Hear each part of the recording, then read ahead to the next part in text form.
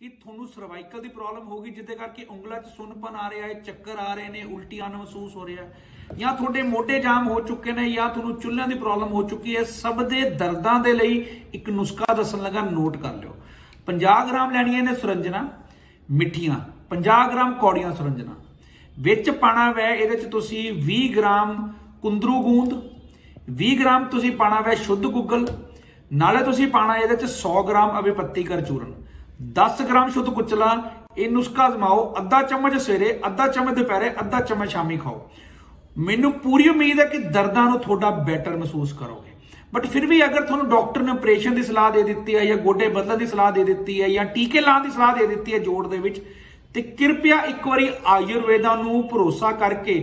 3 ਮਹੀਨੇ ਦਾ ਸਮਾਂ ਦਿਓ, ਮੈਂ ਪੂਰਾ ਵਿਸ਼ਵਾਸ ਦਿਲਾਨਾ ਹੈ, ਜੋ ਦੁਨੀਆ 'ਚ ਬੈਸਟ ਆਯੁਰਵੇਦਾ ਹੈ, ਜੋ ਦੁਨੀਆ 'ਚ ਬੈਸਟ ਫਿਜ਼ੀਓਥੈਰੇਪੀ ਹੈ, ਜੋ ਦੁਨੀਆ ਦੇ ਵਿੱਚ ਬੈਸਟ ਖਾਣ ਪਾਣ ਹੈ, ਤੁਹਾਡੇ ਰੋਗ ਦੇ ਹਿਸਾਬ ਦੇ ਨਾਲ ਅਸੀਂ ਤੁਹਾਡੇ ਤੱਕ ਮੁਹੱਈਆ ਕਰਾਵਾਂਗੇ। ਤੁਸੀਂ ਸਾਡੇ ਕੋਲ ਜਦੋਂ ਮਰਜ਼ੀ ਆ ਕੇ, ਕਦੀ ਮਰਜ਼ੀ ਆ ਕੇ ਫ੍ਰੀ ਸਲਾਹ ਲੈ ਕਰਕੇ ਜਾ ਸਕਦੇ ਹੋ।